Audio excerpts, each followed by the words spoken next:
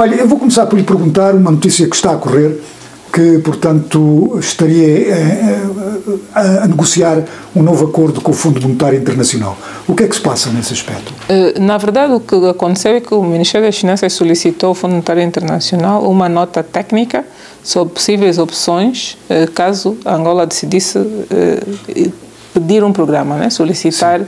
um programa. Essa nota foi preparada, foi partilhada e está a ser internamente, internamente analisada pelo Ministério das Finanças, de modo que ainda não é uma discussão política a nível do governo. Portanto, também uh, nada sobre uh, um empréstimo ou a quantia que se envolverá? Não, não, não estamos, não estamos nessa fase. Estamos na fase de avaliar as opções versus o momento económico e social Sim. que a Angola vive. Qual o impacto eh, desta visita do presidente Joe Biden em termos uhum. económicos, uh, principalmente tendo em conta o corredor do Lubito. O, corredor do Lubito, claro está, está virado para as exportações vindas do Interland africano, mas em que é que isso pode beneficiar Angola e o impacto da visita de Joe Biden? Acha que tem algum impacto económico? Uh, sim, acaba por ter, porque fica claro que as relações entre os dois países são, estão boas e são sólidas e é um sinal forte para os empresários angolanos e os empresários americanos relativamente uh, à solidez dessa relação.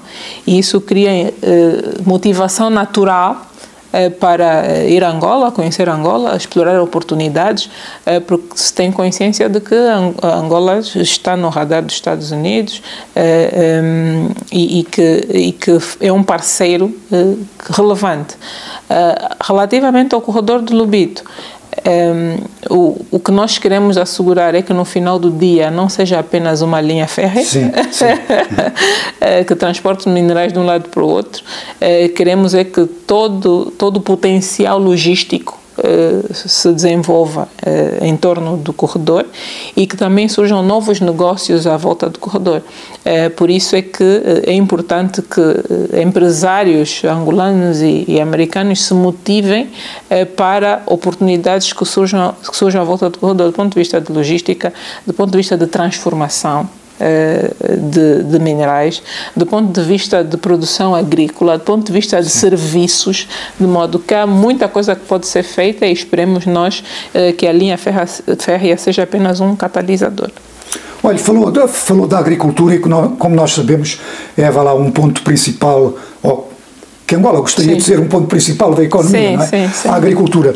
Uh, Falou-se hoje aqui, creio que foi hoje aqui numa reunião do FMI, de um novo programa, uh, creio, do Banco Mundial de 9 mil milhões de dólares para ajudar países como Angola, países em desenvolvimento. Uh, Sabe se Angola vai compartilhar desse, de alguns desses fundos de fomento à agricultura? Nós, nós já temos beneficiado, tanto do Banco Mundial como do Banco Africano de Desenvolvimento, ah. eh, temos beneficiado de financiamento a projetos eh, para a resiliência climática de, das culturas, para a capacitação eh, dos agricultores, para que sejam eh, cada vez eh, mais eficientes e que as culturas sejam cada vez mais produtivas. E agora estamos em discussão para ver a ampliação da nossa um, rede de irrigação. É, porque infelizmente ainda temos muita produção agrícola a depender das chuvas. É, e então a, pensamos que há potencial de Angola tirar vantagem desse envelope financeiro.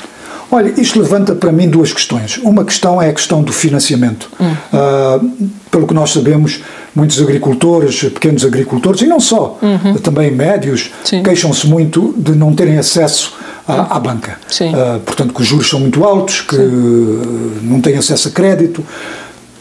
Qual é, como é que o governo angolano e como é que você, como Ministra das Finanças, pensa que este problema pode ser resolvido? Uh, nós, nós estamos a procurar endereçá-lo uh, com um misto é, de estratégias. Uma focada na agricultura familiar está relacionada com, a, com, as capitalizações que vamos fazendo ao Fundo Agrário, Fundo Angolano para o Desenvolvimento Agrário, é assim que se chama o FADA. E, e temos o FADA com base nessas capitalizações, fazendo microcrédito eh, às famílias eh, e assim, eh, com, através de motocultivadoras, equipamentos básicos, compra de sementes, compra de fertilizantes e assim vemos a, também a produção eh, das famílias a crescer.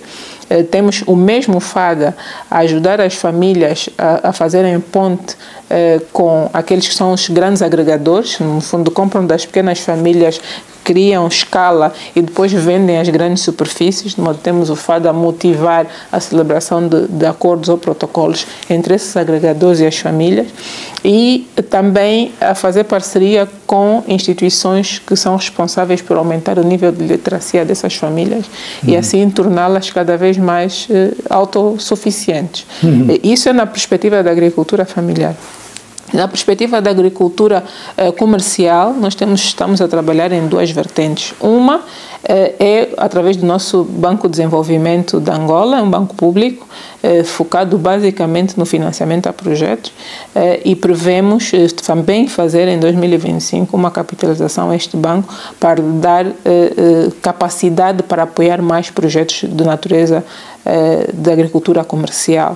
E através da banca comercial privada, o que estamos a fazer é colocar à disposição uma estrutura de garantias públicas em que os bancos, para mitigar o risco de desses fazendeiros não pagarem, eh, têm acesso a uma garantia do Estado em que ah. acionam eh, caso o agricultor entre em cumprimento. Mas isso já está? Em já está. Ah. Uh, temos dois bancos comerciais já a fazer isso e, e, e, montantes de garantias que vão sendo acionadas à medida que a linha for ser utilizada, mas o somatório das linhas que os dois abriram dá mais ou menos 50 mil milhões de kwanzas, são 50 eh, milhões de dólares, mais ou menos. Uh, relativamente ao, a, àquela que é uh, a componente de como falei, a agricultura familiar já está, a agricultura comercial através do Banco de Desenvolvimento eh, de Angola ou através da banca privada eh, com eh, eh, garantias públicas, de modo que é por essa via eh, que nós estamos a procurar endereçar e é nossa expectativa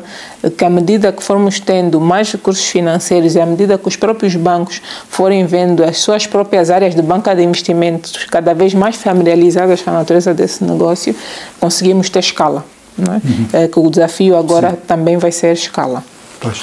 Olha, ah, agora eu ia mudar um pouco de assunto. Uhum. Ah, aqui há, há, uns meses atrás, creio que foi há uns meses, ah, a Ministra falou do facto de departamentos governamentais não apresentarem contas. Como é que está essa situação? Felizmente tivemos um bom progresso. tivemos um bom progresso e agora temos basicamente todos os departamentos ministeriais, todas, os, todos os os órgãos eh, do poder local, tá? governos provinciais, administrações municipais e também as missões diplomáticas a prestar contas. Ora. E a qualidade vai aumentando à medida que o tempo Sim. vai passando. De modo que, em termos de, de periodicidade, estamos bem, a qualidade melhorou bastante, mas pode continuar a melhorar e nós temos estado a dar o apoio necessário. Muito bem. Olha, agora vou, vou outra vez para uma questão financeira, que é a questão uh, da dívida. Uh, como é que está a dívida neste momento? Angola é, é segundo eu li hoje, é o quarto país mais endividado em África. Não sei se é verdade ou não. Não mas, sei também. mas, eh, qual, eh, portanto, como é que Angola está a gerir essa dívida que é de, vá lá, acima de 20 mil milhões de dólares, não é? Sim, 60, 65 mais ou menos. 65 mil milhões. Uh, mas já, já tivemos nos 80, ok? Ok. De modo que temos, temos estado a, a reduzi-la, eu diria até de forma bastante agressiva. Eh, e a dívida é sustentável. Uh, temos estado sempre a fazer gestão proativa, uh, procurando a todo momento identificar oportunidades que permitam uh, alongar maturidades, que permitam ter financiamentos mais baratos e, e, e, de alguma forma usar esses financiamentos mais baratos para pagar outros mais caros e, e todo novo financiamento que seja quer para a tesouraria, quer para projetos, procuramos sempre que seja ah, os melhores termos possíveis. Por essa razão é que este ano ainda não fizemos nenhuma emissão de eurobonds. Ah, é, eu ia mesmo perguntar isso.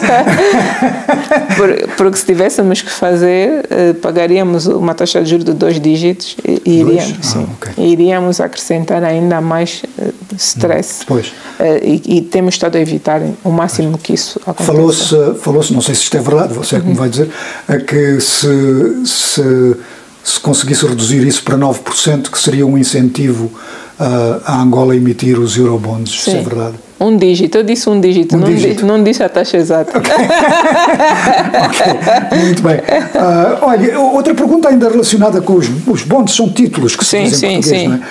Falou-se desta questão do, eu não sei como é que se diz isto em português, dívida pela natureza. Debt ah, for nature debt for nature swaps. É uma, é uma boa. Mas a Angola está interessada ou não? Sim, nós temos, temos estado a dialogar. Temos estado a dialogar com bancos, uh, temos estado a dialogar com a outra ponta, que é uh, as entidades que normalmente uh, identificam as ações que poderiam ser beneficiadas ou o canal de destino das poupanças que se conseguissem pela Sim. troca das dívidas, de modo que temos estado nesse momento em diálogo para ver qual dos caminhos possíveis, temos três possíveis, uh, três transações possíveis, qual dos caminhos possíveis vai permitir melhor, maiores poupanças e vai gerar mais impacto. De Sim. modo que estamos nesse momento a dialogar sobre isso. Olha, eh, uma questão que, que é posta muitas vezes por, por angolanos é que não têm acesso a divisas. não há dólares. Como é que você vê essa? Isso é algo que dificulta, claro que dificulta a vida das pessoas que queiram comprar coisas em moeda estrangeira, mas para, para o mundo empresarial angolano, há ainda esta falta de divisas? Como é, qual é a situação atual? Eu diria que é sazonal, não é? depende muito da, da oferta, de modo que há momentos que a oferta é maior, temos as empresas petrolíferas, por exemplo, a Sim. vender mais. Temos o Tesouro com maior disponibilidade de divisas e também vende, e aí o tema não se coloca. Há outros momentos em que a oferta é menor, de modo que ou o Tesouro não está a vender porque também tem compromissos em dólares, ou as petrolíferas estão a vender menos e a pressão é maior. De modo que é volátil. Né? a forma estrutural de resolver isso é, um, temos cada vez mais oferta local dos produtos que normalmente são sim. aqueles que se procura no exterior. Eh, sejam eles alimentos, sejam vestuários, sejam medicamentos, seja saúde.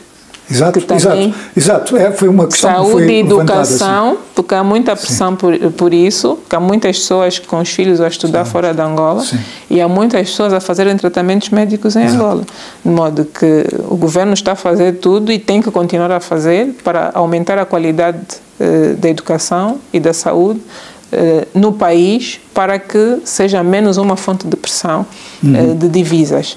E o tema da produção agrícola, o tema da segurança alimentar, o tema de fábrica de medicamentos para produzir pelo menos aqueles que são mais procurados, antipalúdicos uhum. e, e os, os, paracetamóis da vida, e assim ser uma hum, fonte menor de pressão. Isso é de um lado.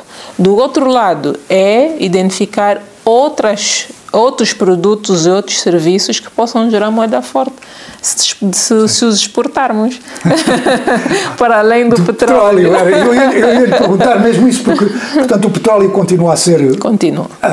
A esmagadora maioria sim, da fonte sim. de rendimento. Temos, temos eh, uma exportação muito interessante de, algum, de algumas frutas, bananas, por exemplo, sim. estamos a exportar bastante, eh, pedras, granitos e mármores, estamos a exportar ah, bastante.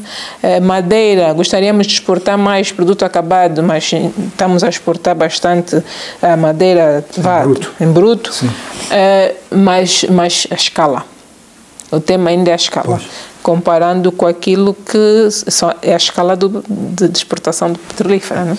Bom, temos que continuar a fazer esse trabalho. Uh, eu tinha aqui, eu vi que, que a, ministra, a senhora ministra fez um, um discurso, creio que foi hoje, em que falou, eu, eu, agora estou aqui a resumir porque não tenho aqui os, os pormenores, em que falou do facto de, de ter que haver mais participação uh, de empresas locais e de especialistas angolanos quando vêm companhias de fora para operar em Angola. Foi isso que disse, não foi? Referia-me a recebermos financiamentos uh, de multilaterais, por sim, exemplo. Sim Uh, e uh, no processo de contratação de algum dos serviços, muitas das vezes, quase nunca se contratarem profissionais locais ou empresas angolanas.